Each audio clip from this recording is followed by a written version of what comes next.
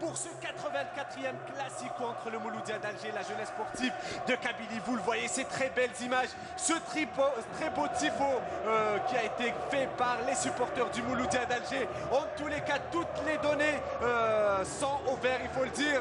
Un très beau décor aujourd'hui pour ce beau classico, il faut le dire aussi. Euh, un classico qui se, joue, qui se joue comme par pur hasard derrière les verts pour cette deuxième qualification d'affilée en Coupe du Monde, la quatrième, euh, Inch'Allah, on l'espère, dans l'histoire de l'Algérie. On croise les doigts déjà. Eh ben oui, on, on pense tous à ce match, je peux vous le dire. Attention, ça y est, qui se retourne, le tir, et Yahya Chelif qui ouvre le score Et Yahya Chelif qui marque son premier but cette saison Yahya Chelif, on le disait, ce joueur qui est rentré dans le match, et finalement Yahya Chelif qui marque son premier but. Tout d'abord, excellent travail de Gianni, je crois, qui, euh, qui prend un peu de vitesse qui frappent.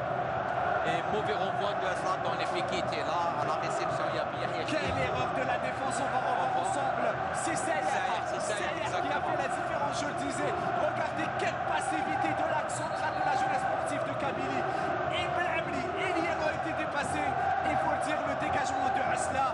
Et euh, lui le ballon qui revient directement dans les pieds de Et on voit les supporters en tous les cas qui jubilent, qui اسمعوا شوفوا الشنوي وش راه يدير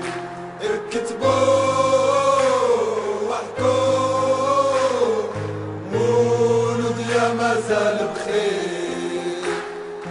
مولود يا مازال بخير. علقوا خمسة في البيبان. ونسيدي عبد الرحمن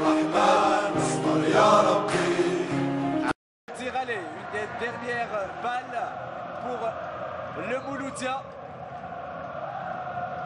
Monsieur Himoudi euh, qui se dirige vers le centre et à l'instant même Monsieur Himoudi qui siffle la fin de ce quatrième, quatrième classico et qui revient